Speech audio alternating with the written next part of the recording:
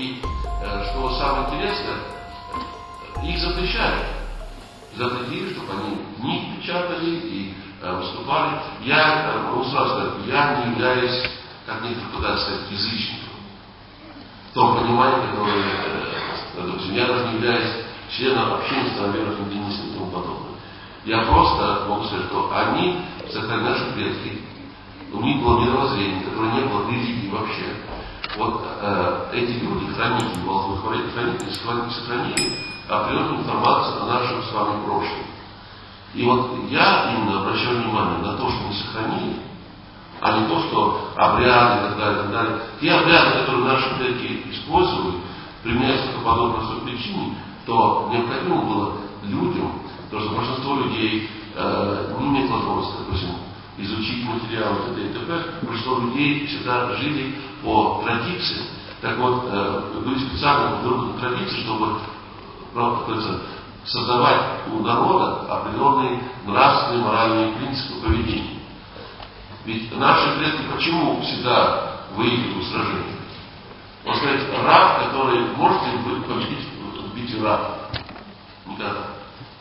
Только если он в перепугу ширину, правильно? Победить может свободный человек. Наши предки никогда не боялись смерти. Это не значит, что они шли на смерть добровольно, с открытыми руками, вот, вот, э, бросались на, на пулеметы э, с э, открытой грудью, хотя это тоже было, это необходимо было. Но вопрос в том, что э, человек, боящийся, э, испуганный, он ничего парализован почти всем. Он действовать не может. И именно религии, которые навязаны представление, что вот человек умрет, один раз живет, вот и хапает, сколько может захапать себе. Сколько захапал, вот и процветает. Э, и, не думает, что будет завтра. Наши предки прекрасно знают, что завтра будет, да, они могут погибнуть, но они прекрасно знают, что они будут, э, воплощены заново. И если что-то они не так сделали в этой жизни, то потом они сами будут за это уже расхлебывать. Не только они сами, их дети будут расхлебывать, потому что э, любое действие, которое человек производит, откладывает отпечаток на него. Понимает он этого или нет, хочет он или нет. И этот отпечаток, изменение генетической, ошибки генетической, э, передается по наследству, и потом у э, потомков возникает очень серьезный доступ к заболеваниям, включая рак и т.д. и т.п. Психически серьезные заболевания, раковые заболевания и другие и так далее. И, так далее. и все это передается через генетику, которым, и это э, передается не только то, что э, сказать, человек получил свыклик, но то, что сам еще наложил, наработал, так сказать, положительно на вещах. Но если положительно работал, то она тоже передается. То есть и то, и другое. Понимаете, э, в чем заключается информационная война? Вот когда наши враги поняли, что невозможно победить в открытом битве, они стали запускать разлагающие механизмы. То есть пускать, э, что кто-то лучше другого. Да никто не лучше другого, все э, не лучше, не хуже, просто разные.